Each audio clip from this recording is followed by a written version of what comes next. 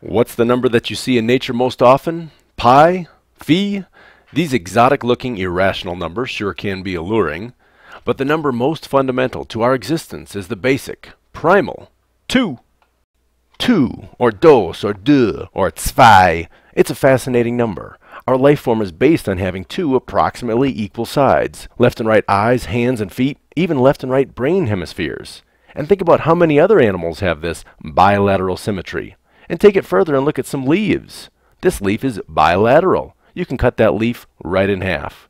We are ever searching for this balance. So it's only natural that the number 2 infiltrates our basic perception of our surroundings. Our worldly religions, our first attempts to explain our existence, share some basic dichotomies, good and evil, darkness and light. Depending on your beliefs, you may choose 3 or 18 or 5 as your favorite number, but you can't escape the number on which your beliefs are built. But I don't follow any religion, you say. Well, it doesn't matter if you're agnostic or atheist or a minister of satire. You don't need to follow a religion or any ethos at all to be tied to the number 2.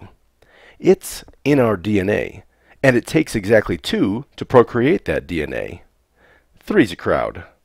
There are whole fields of math devoted to the number 2. In binomial probability, there are just two possible outcomes. Say you flip a coin, you can get either heads or tails. Let's assume you have a perfectly weighted coin. The chance of getting heads is truly 1 in 2. If you flip that coin three times in a row and get heads every time, the probability of getting heads on the next flip is still 1 in 2. The outcomes of the previous flips don't matter. Why? Because nothing has changed with the coin. It is still evenly weighted and therefore each side is just as likely to land up. The number 2 defines all the other integers. You know, if a number is divisible by 2, it's even. If it's not divisible by 2, it's odd. An even number refers to the fact that you can make nice, even rows. With an odd number, instead of the paired rows, you have an odd one out.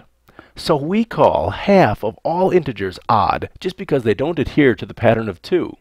Can you think of anything else in the world that we would call odd when it's not even a rarity? And 2 is the only even number that also gets to call itself prime. Back to pi and phi, you need the ratio of two different numbers just to define them. Math is 2, religion is 2, life is 2.